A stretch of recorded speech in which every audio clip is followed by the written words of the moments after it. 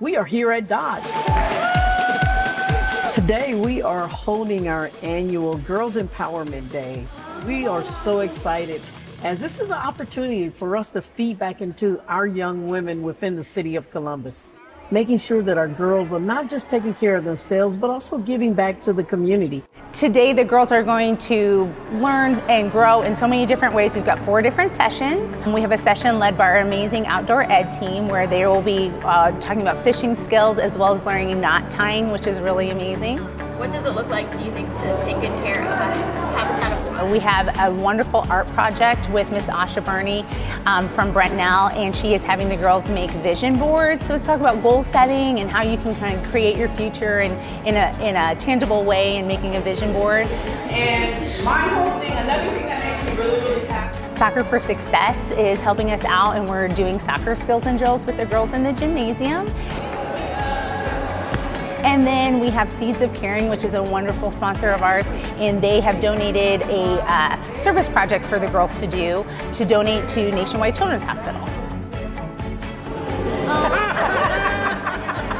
We are so happy that Mayor Ginther had a chance to come and visit with our girls today.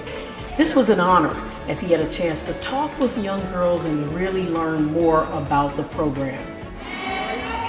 These girls, they get a little physical activity, they get a little bit of mental activity, they get a little bit of community give back. They also take in a lot of fun entertainment for the day. And then when they leave here, they leave not just empty handed, but they leave with a goodie swag bag. And so it's so important that we get these young girls when they're young um, feed that positivity into them, making sure that they are self improving them uh, all throughout their lifespan and how it makes a difference for them as well as others that they actually interact with. And now we have a positive, wholesome person that moves forward in life.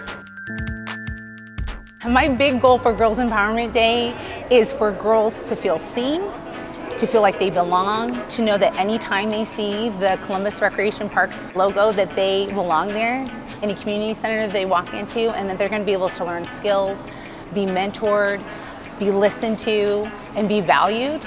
Uh, so this is just a day to encompass it all, but hopefully to get them become lifelong uh, learners and, and uh, participants in our recreation centers as well. And so we're looking for all girls to get involved as we want to make sure we're keeping our girls active with physical fitness, mental stability, and social capability.